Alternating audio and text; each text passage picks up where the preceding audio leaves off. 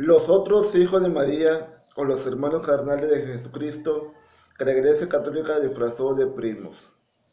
A pesar de la vehemente defensa que Mateo hace de la Virgen, virginidad de María, en ese mismo Evangelio encontramos un par de pasajes sorprendentes. En Mateo 12, 46 al 50, leemos la primera referencia a la familia de Jesús. Mientras él hablaba a la muchedumbre, su madre y sus hermanos estaban afuera y pretendían hablarle. Alguien le dijo, tu madre y tus hermanos están afuera y desean hablarte. Él respondió, dijo al que le hablaba, ¿quién es mi madre y quién son mis hermanos? Extendiendo su mano sobre sus discípulos, dijo, He aquí mi madre y mis hermanos. ¿Por qué? Porque quien quiera que hiciera la voluntad de mi Padre, que está en los cielos, ese es mi hermano y mi hermana y mi madre. Y algo más adelante se relata la reacción de los vecinos de Nazaret a la predica de Jesucristo de esa forma. Y viendo a su patria, les enseñaba en la sinagoga de manera que atónitos se decía, ¿de dónde le viene este tal sabiduría y tales poderes? ¿No es este el hijo del carpintero? ¿Su madre no se llama María? ¿Y sus hermanas y sus hermanos Santiago y José? ¿Simón y Judas? Sus hermanas no en, todos entre nosotros. ¿De dónde pues le vienen todo esto? Y escandalizaban en él. Jesús le dijo, solo en su patria y en su casa es menospreciado el profeta. Y no hizo allí muchos milagros por, por su incredulidad. Mateo 13, 54 al 58. En ese punto debe hacerse un inciso para apuntar que la existencia real de Nazaret en tiempo de Jesús es una posibilidad discutida. Flavio Josefo, que, nació y vivió en Jaffa, pueblo que hoy es un suburbio del actual Nazaret, no conoció ni citó esa ciudad en sus crónicas, quizás porque el enclave donde hoy se le sitúa era entonces un cementerio de los habitantes de, Jaffa, función desempeñó este lugar desde al menos un milenio antes, convirtiéndolo en un lugar impuro según la ley, y por ello imposible de habitar para cualquier judío. Tampoco se citó Nazaret en el Antiguo Testamento ni en el Talmud, ni tampoco en apócrifos como el Protoevangelio de Santiago, el de Tomás, el de Pedro, el de María Magdalena, el de Felipe o el de Judas. Orígenes que vivió en Cesarea, por encima al actual Nazaret, no la conoció.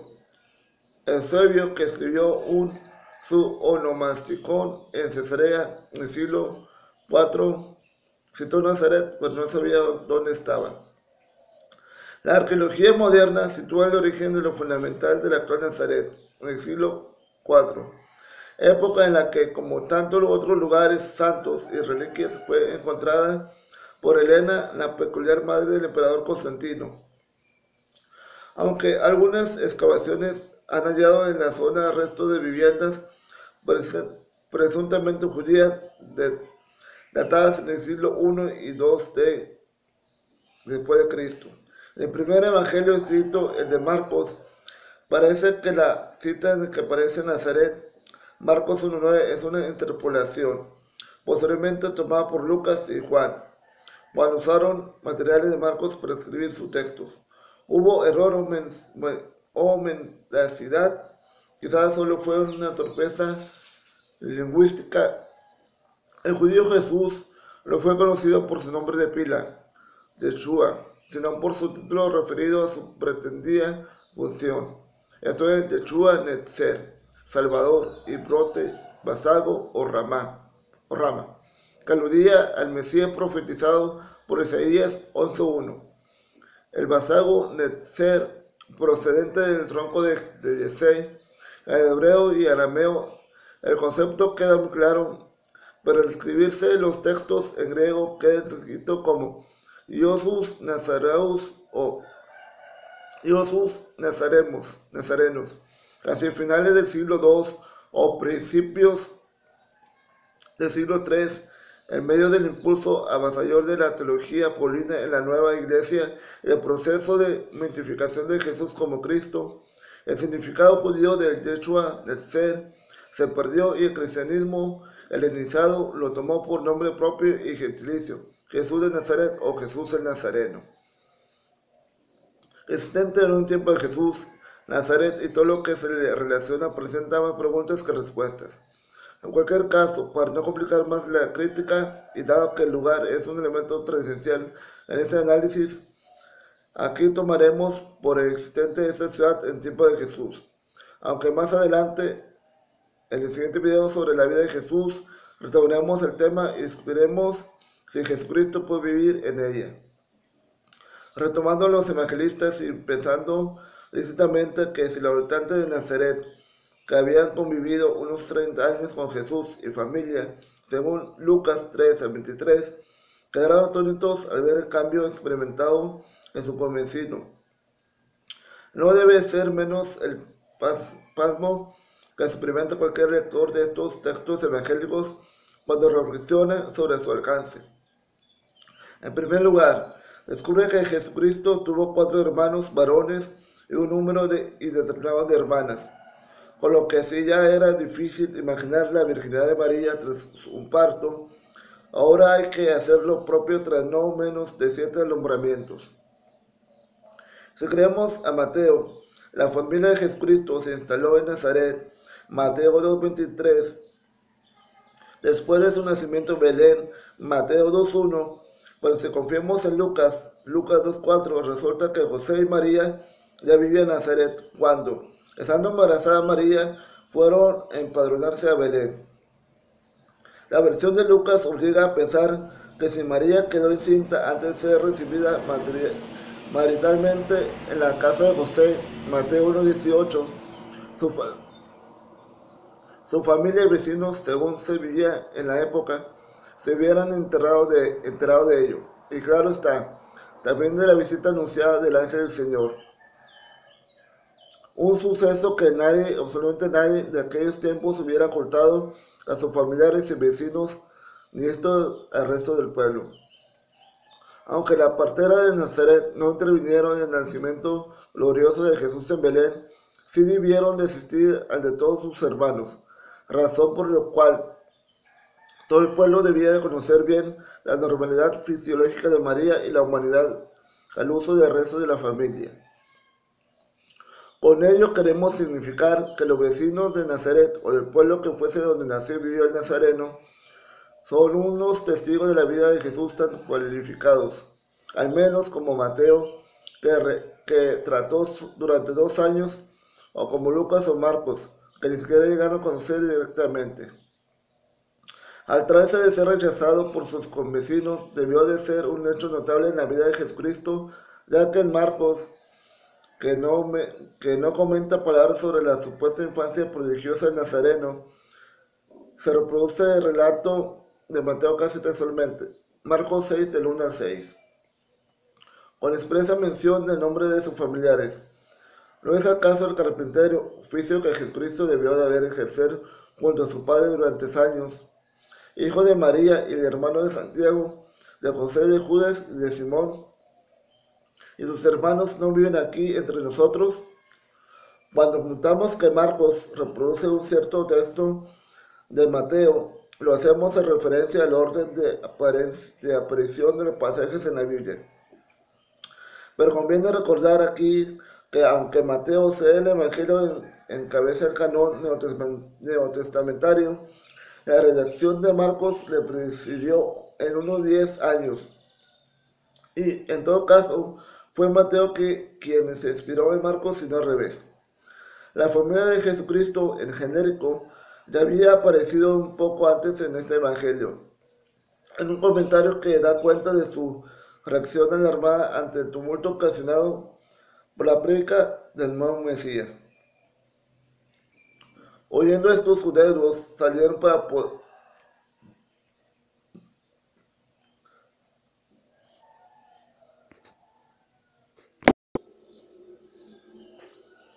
Oyendo estos sus deudos, salieron para apoderarse de él, pues decían, este fuera, está fuera de sí. Marcos 3:21. Y casi a seguido reforzando la tesis de que sus familiares directos creían que se había trastornado, señala en Marcos 3:31 al 35. Vinieron su madre y sus hermanos y desde fuera la mandaron a llamar. Estaba la muchedumbre sentada en torno de él y le dijeron, ahí fuera está tu madre y tus hermanos, que te buscan. Que reproduce también casi textualmente el pasaje de Mateo 12, 46, 50 ya citado. Lucas, por su parte, también recogió del mismo modo que Mateo y Marcos esta escena de tensión familiar que aparece en Lucas 8, 19 al 21. Además, en los Hechos de los Apóstoles, en el contexto de un comentario a propósito de la ascensión de Jesús, Lucas se beneficia de nuevo los vínculos carnales del Nazareno cuando señala que todos estos, los apóstoles, perseveraban unánimes en la oración con, con algunas mujeres, con María, la Madre de Jesús y con los hermanos de este. Hechos 1.14. El médico Lucas tenía tan clara la existencia de los hermanos de Jesús que ya en el momento de redactar su texto sobre el nacimiento de Jesús, a finales del siglo I después de Cristo, escribió, Estando allí, se cumplieron los días de su parto y dio a luz a su hijo primogénito. Lucas 2, 6 al 7. De haber sido Jesús el único hijo de María, le hubiera dicho con claridad.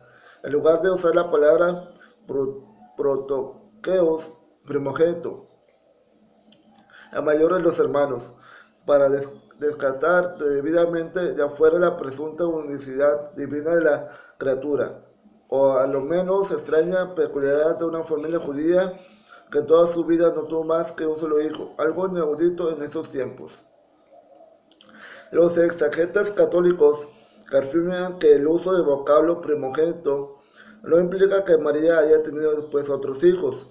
Se aparentan que el término griego protoqueos corresponde al hebreo Bekor, que significa el primer hijo de una madre.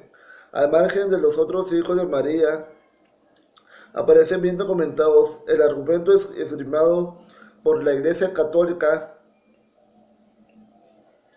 puede volverse de revés para objetar que tener el primer hijo de una madre no implica más. No implica tampoco que ésta ya no haya, vaya a tener otros en el futuro. un pequeño detalle más. El Evangelio de Lucas se escribió en griego. No hubo que traducir del hebreo nada de referido a Jesús. Por gente que conocía su lengua y también se supone el contexto del que hablaba.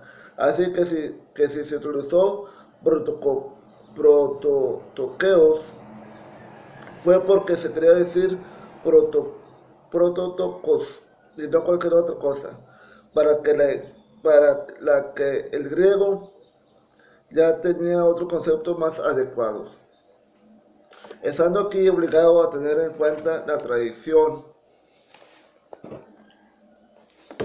la tradición impone aunque la ciencia niega eso que Mateo había sido apóstol de Jesús y Marcos, el redactor que recogió la memoria del apóstol Pedro, uno de los tres íntimos del maestro, cabe pensar que estos hubieran podido reproducir sin más el dato de familia de Jesús si no fuese real, dado que esta es una información neutra sobre la que los evangelistas no construyen posteriormente nada doctrinal, ya sea de corte mítico, religioso, social o personal, y que aparente y aparece tanto en los textos canónicos de quienes sostienen la virginidad de María como en los, en de quienes la ignoran absolutamente. Resulta muy claro que esa fue la familia real de Jesús, una certeza, una certeza que mantiene todos los eruditos independientes de las iglesias cristianas a excepción de los católicos.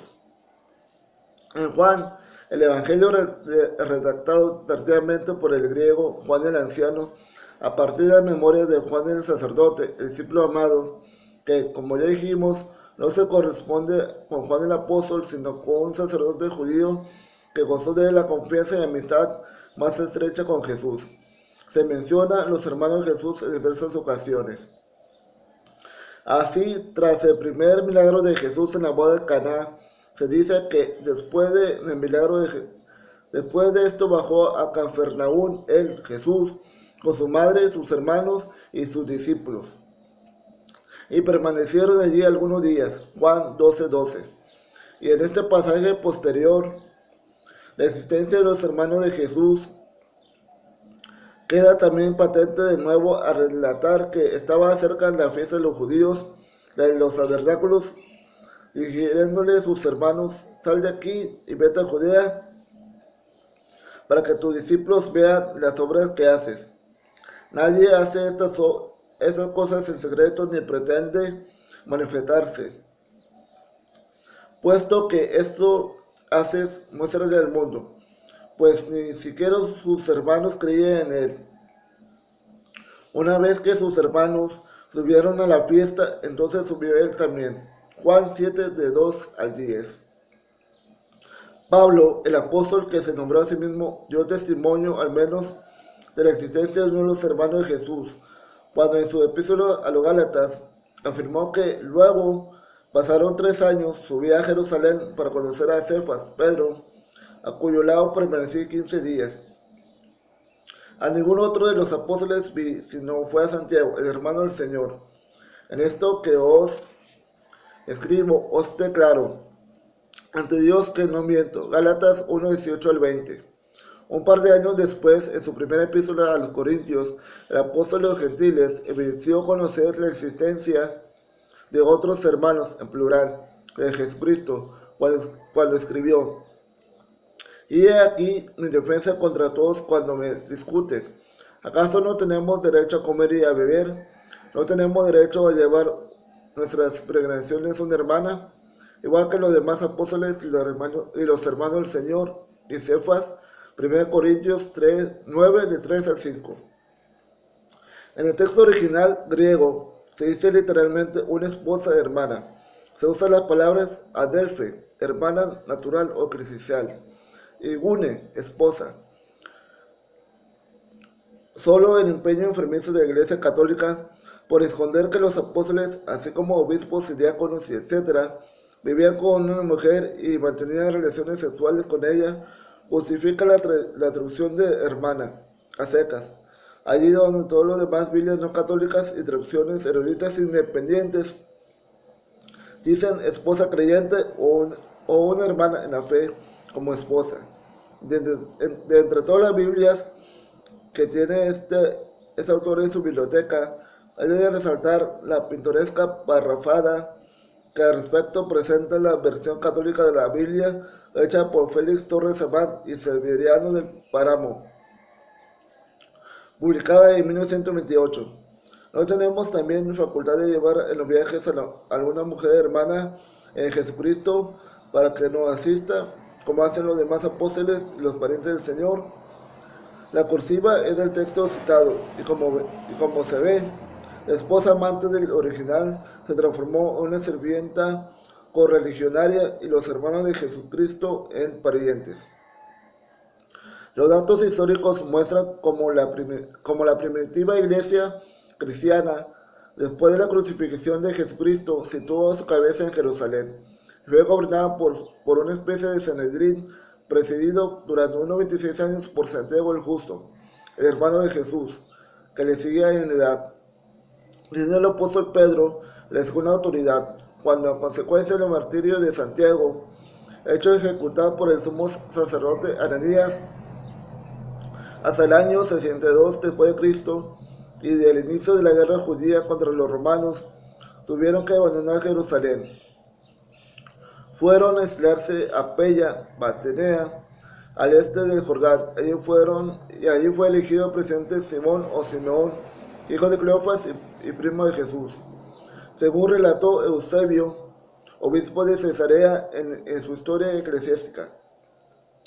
Tras el martirio de Jacobo y la inminente mentira toma de Jerusalén, cuenta la tradición que viniendo diversos sitios se reunieron en un mismo lugar los apóstoles y los discípulos del Señor, que todavía se hallaban con vida, y juntos con ellos también los que eran de la familia del Señor, según la carne, pues muchos aún estaban vivos. los ellos deliberaron acerca de quién había de ser juzgado digno de la asociación de Jacobo, y por unanimidad todos pensaron en Simón, Simeón, el hijo de, de Cleofas, a quien también menciona el texto del Evangelio. Merecía el trono de aquella región, por ser, según se dice, primo de Salvador, pues Exegisipo cuenta que Cleofas era hermano de José. Muchos autores católicos hacen a Simeón primo de Santiago y no de Jesús, argumentando que Santiago era hijo de un primer matrimonio de María de Cleofas.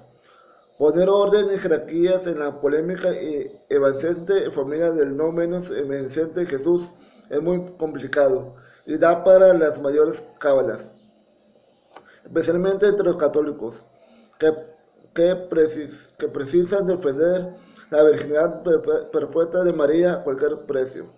Para, para autores católicos como Ferdinand Pratt, los puntos que quedan por aclarar se resolverían, en nuestra opinión, si, si arriesgamos dos hipótesis. Primero, que María, hermana de la Santísima Virgen, habiendo tenido dos hijos de su primer matrimonio, Santiago José, se casó por segunda vez con Cleofas, hermano de José, quien también tenía dos hijos de un primer matrimonio, Simón y Judas. La segunda es que la hermana de la Santísima Virgen tuvo como primer esposo a un hombre de la tribu de Leví llamado Alfeo. De esta manera se resolverían nueve o diez problemas. Por lo tanto, uno podría explicar por qué Santiago, José, Simón y Judas son son siempre nombrados en ese orden como hermano del Señor. Porque Santiago y José son, son, son par distintos de Simón y Judas. Porque María, la hermana de la Virgen María, es conocida como la madre de Santiago y José y no como la madre de Simón y Judas. Porque de acuerdo a Egesipo, Simón y no Santiago es el hijo de Cleofas. ¿Por qué? Porque nuevamente de acuerdo a Egipio, Simón y Judas son de la familia de David, porque de acuerdo a la tradición, Santiago era de linaje sacerdotal, porque la opinión común de los católicos identifica a Santiago, hijo de María, hermano de la Santísima Virgen, como Santiago el Apóstol, el hijo de Alfeo, porque María de Cleofas es llamada en el Evangelio como el hermano de la Santísima Virgen, cuando ella era en realidad su cuñada, siendo la esposa del hermano de San José. Finalmente, porque después de la muerte de San José y Cleofas, las dos hermanas acercaron a las dos familias para que en adelante las dos familias parezcan una.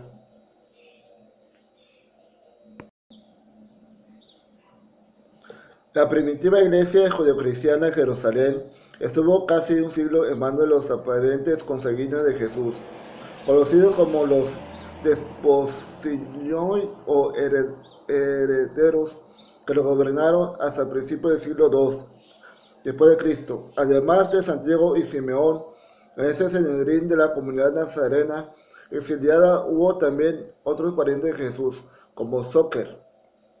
Quizás Judas Zóquer, nieto de Judas, el hermano menor de Jesús, y Jaime Jacobo, que uno, que uno presenta como primo del Señor y otros como hermano de Judas, Zóquer.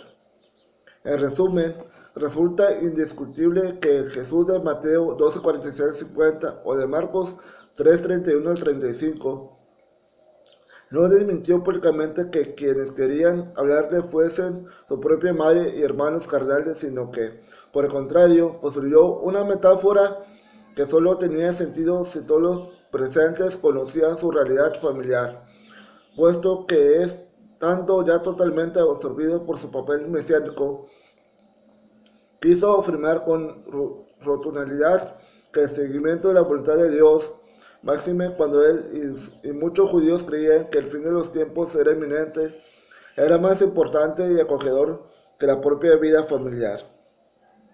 Y es obvio también que los cuatro evangelistas testificaron en su escrito la existencia real de no menos de seis hermanos y hermanas de Jesús, así como que Pedro y Pablo se relacionaron directamente con Santiago, el segundo hijo de María, el presidente de la Iglesia Cristiana de Jerusalén.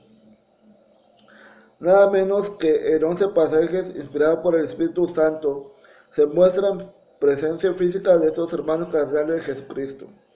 Como en Mateo, Marcos 3, 31 55, Mateo 2, 47 al 50, Lucas 8, 19 21, que repiten el mismo patrón, pasaje. Marcos 6, 3, Mateo 13, 55 al 56, Lucas 4, 22. Mismo episodio con alguna variante. Lucas omite aquí citar a la madre y los nombres de los hermanos.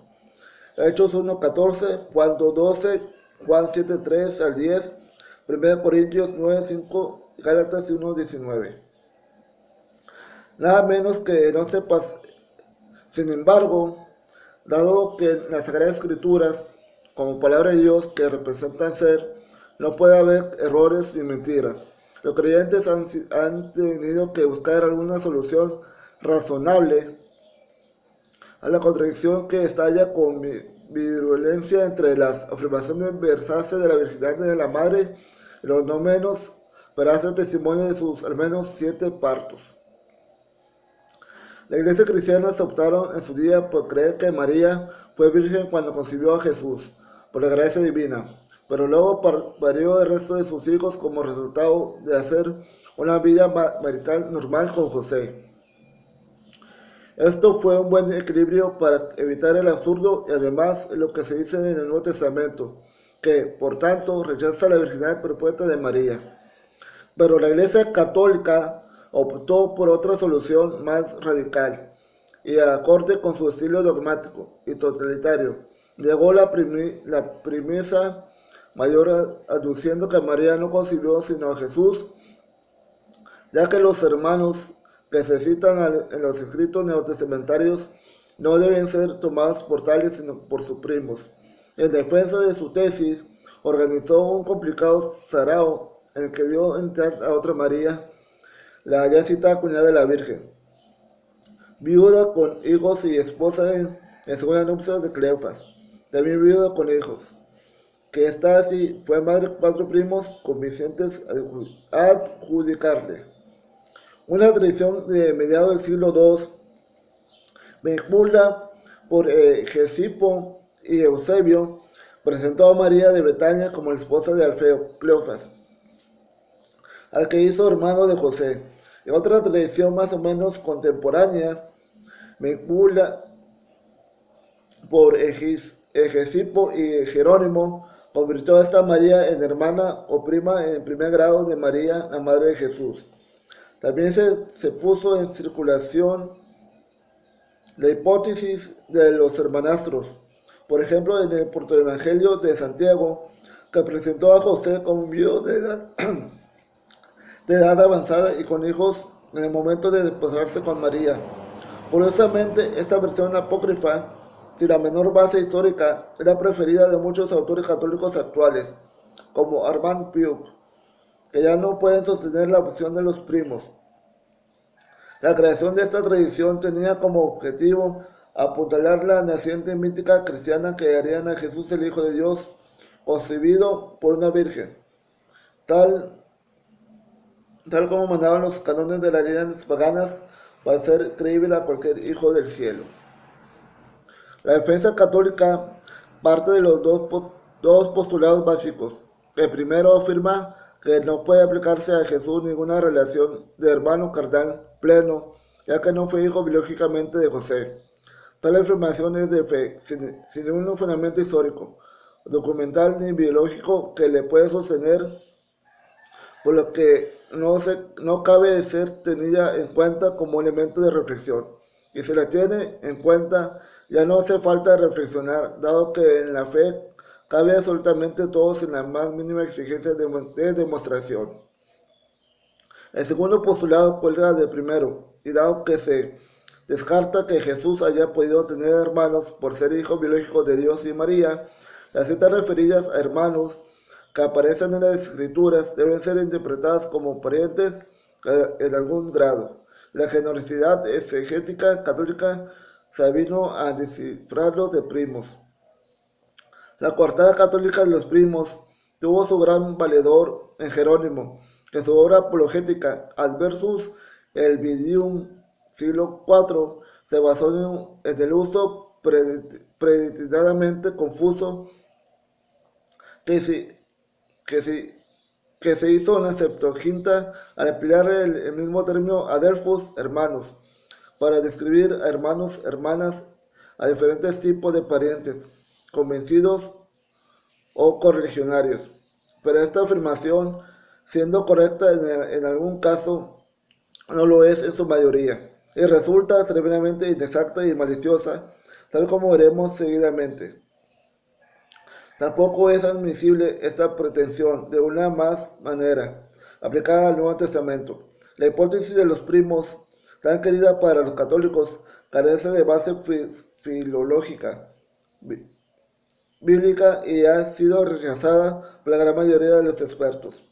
A más abundamiento y para lograr una mayor manipulación de la realidad, los exegetas católicos, defensores de la virginidad profeta de María, rehusan emplear el análisis del contexto, al que solo recurren cuando les conviene, ya que a medida ya que mediante el mismo cualquiera puede darse perfecta cuenta de que cuando el Adelfos de un versículo determinado se está refiriendo a familia, familiares próximos, vecinos, correligionarios o hermanos carnales, hijos de la Virgen María. Veamos ahora si existen estas dificultades del lenguaje para saber qué grado de parentesco se refería en cada caso los redactores bíblicos. En un principio, en la Septuaginta, la primera versión griega del Antiguo Testamento, se puede expresar cuando así lo precisieron los autores de los textos hebreos en lo que se basaron, grados concretos de parentesco en las familias hebreas que pronunciaron los, los escritos. Ya, ya fuera usando vocablos erectos o circunloquios. Así, por ejemplo, en Jeremías se expresa con claridad quién es hijo. Ben, Jeremías 1.1, hija Bat, Jeremías 52.1, padre Ab, Jeremías 22.11, madre Em, Jeremías 52.1, hermano Abhi o hermana Akhot, Jeremías 22.18, tío o hermano del padre Dot, Jeremías 32.9, primo, hijo del tío Dot, Jeremías 32.12, nieto, hijo del hijo Ben, Jeremías 27, 7, etc. El Nuevo Testamento ya no pudo haber problemas conceptuales con el hebreo, que en tiempo de Jesús tenía un uso más religioso que como lengua hablada, o, el arameo, ya que por mucho es que esta fuese la lengua de Jesús y su círculo, los, relatos, los relatos neotestamentarios se escribieron en griego por autores, la mayoría anónimos, que vivían en sociedades grecoparlantes que se dirigían a cristianos helenizados. En griego, naturalmente, podía decirse hermanos adelfos. Mateo 12:49, hermanas adelfa, adelfe. Mateo 13:56, hijo judíos. Mateo 13:55, o madre meter. Mateo 12:49, cuando se estimase oportuno y lo que esto veía mejor, en su vocablo también tenía una palabra para primo, anepsios, por ejemplo, Colosenses 4.10, o para un genérico pariente, surgesis, en Lucas 1.36. La epístola de los Colosenses se escribió hacia el siglo, hacia el año 61 al 62 antes después de Cristo, tanto que invalida también la, respuesta católica de que el siglo I del griego todavía no tenía un vocablo, un para el primo. Entonces, si Santiago, por ejemplo, era primo de Jesús, ¿por qué le, etiquetaron como Adelfos en lugar de Anepsios? La respuesta del bando católico, repetida por un investigador conspicuo como James Aki, hace historia. La explicación estándar es que si bien el Nuevo Testamento que poseemos está escrito en griego, no se trata de griego normal. Ciertamente ayer como hoy Palabras como hermano, hermana, tienen un significado correcto. Hermano carnal, pero también muchos figurados. Y ayer como hoy, en cualquier lengua, La gente sabía distinguir si el hermano de que se hablaba, ya fuese a Jec o a Delfos o, o cualquier otro, era hijo de una misma madre, corregionario, colega, etc. Y ayer como hoy, la gente realizaba esta pequeña proeza intelectual fijándose simplemente en el contexto de la frase. Cuando Mateo escribe, mientras él hablaba a la muchedumbre, su madre y sus hermanos estaban afuera y pretendían hablarle. Alguien le dijo, tu madre y tus hermanos están afuera y, desean hablarte. Él le respondió, dijo, al que le hablaba, ¿quién es mi madre y quiénes son mis hermanos? Extendiendo su mano sobre sus discípulos, dijo, he aquí mi madre y mis hermanos, porque quien quiera que hiciese la voluntad de mi Padre que está en los cielos, ese es mi hermano, y mi hermana, y mi madre. Mateo 12, 46, 50. Lo hace de forma tan clara que hasta un teólogo católico puede entender que la madre y los hermanos de los niveles, entre paréntesis 1 y 2, indican que indica una relación de parentesco carnal indudable y textual que los niveles de 3 son excusa o puente para la pregunta retórica de Jesús que se invoca en uso. Ahora sí, figurado de que los Carlos Mares hermanos en los niveles 4 y 5, en cualquier caso, la pregunta de respuesta retórica de Jesús, ¿qué es mi madre y quiénes son mis hermanos? He aquí mi madre y mis hermanos, carecían absolutamente de sentido si se hubiera comprado a sus hermanos en la fe o a sus primos. La construcción literaria solo se sostiene si se habla de los hermanos carnales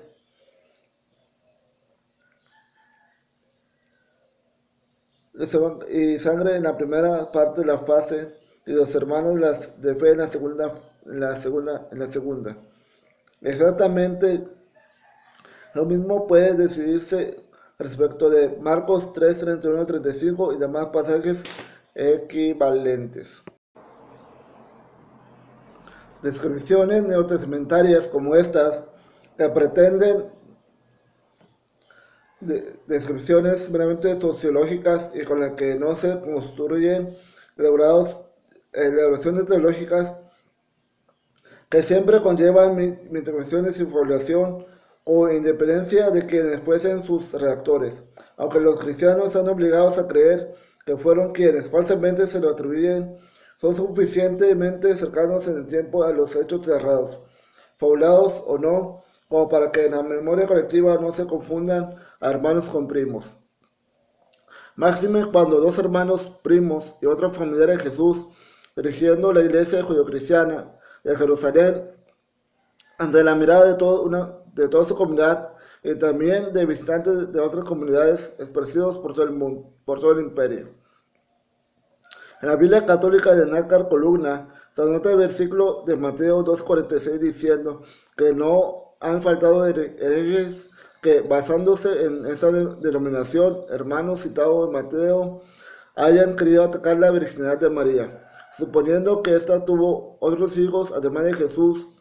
No aclara esta anotación si tan inspirados propagadores de la ortodoxia católica incluyen entre los herejes a los cuatro evangelistas. Ya que estos, de modo claro e inconfundible, tal como puede apreciar cualquier que lea sus textos directamente, proclaman la imposibilidad absoluta de la virginidad perpetua de María a presentar a sus otros hijos de la forma como lo hacen. Los escritos neotestamentarios acerca de los hijos carnales de María son tan sólidos exegética y estilísticamente hablando, que la gran mayoría de los exegetas bíblicos contemporáneos nos referimos, claro, a los servicios académicos. Sostiene que los relatos ya citados en, este video se refiere claramente a hijos e hijas biológicamente de María y de José, hermanos y hermanas, por tanto, de Jesucristo. Incluso eruditos indudablemente católicos de obra académica tan reconocida como lo es el del biblista y sacerdote John Paul Meyer, profesor del Nuevo Testamento en la Facultad de Teología de la Universidad de Notre Dame, defendían sus, defiende sin fisuras que los pasajes citados deben interpretarse como referidos a hermanos de carne y sangre de Jesucristo. Con un lenguaje mucho más comedido, autores indudablemente católicos, defensores de Jesús de la fe, como Rafael Aguirre, Carmen Bernabé y Carlos Gil, profesores del Nuevo Testamento de la Universidad de Deusto, llegan a convenir que, desde un punto de vista histórico, esta opinión no podría ser descalificada. Se refieren, claro, a que los hermanos de Jesús resignados fueron hijos carnales de José y de María. La Iglesia Católica se ha escudado durante siglos en su tremendo poder sociopolítico para tergiversar las escrituras a su gusto y al mismo tiempo mantener a su rey alejado de las evidencias de sus carnicerías doctrinales. Pero, tal como exclamó Galileo Galilei cuando en 1613 fue condenado por la Santa Inquisición y obligado a, bujar, a de su certeza científica acerca que la Tierra quien se movía alrededor del Sol y no al revés, y sin embargo se mueve. Por mucho que la iglesia se empeñe que, que en la Tierra o gira o que los hermanos de Jesús son primos, los textos originales no se mueven.